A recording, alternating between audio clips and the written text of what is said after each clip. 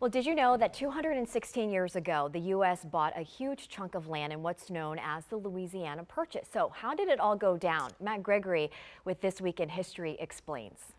All right, what's this week? Uh, purchase of Louisiana. Does anybody even live in Louisiana? The alligators. Yeah, yeah, I know that. Ryan Gosling. Maybe. Hmm.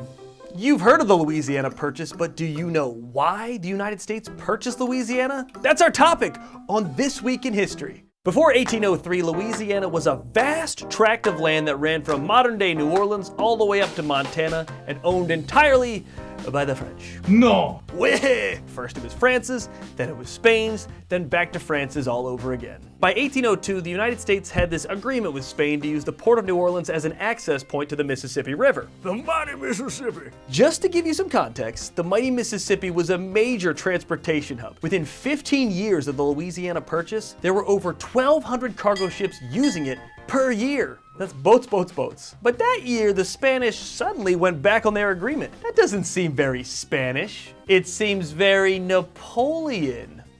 That's because the little big guy had secretly regained control of Louisiana for the French, the monk, and this put Americans in a bind. Looks like Louisiana needs a little American freedom. So Thomas Jefferson, you remember old TJ, he sent negotiators to France to offer to buy New Orleans. Shockingly, not only were the French offering New Orleans, they offered all of Louisiana. That's like negotiating with your teacher to get an F moved to a D, and instead your teacher's like, hey, I have an idea. How about we make you valedictorian? I was valedictorian. Weren't you homeschooled? Yeah. How was prom? At least I went. Hey, I went with my mom.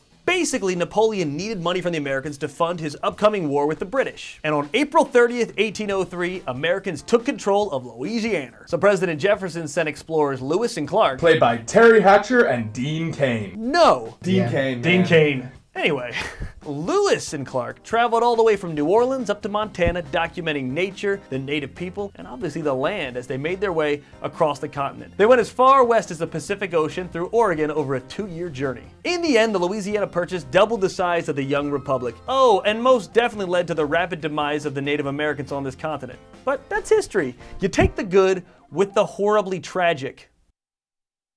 Oh my gosh.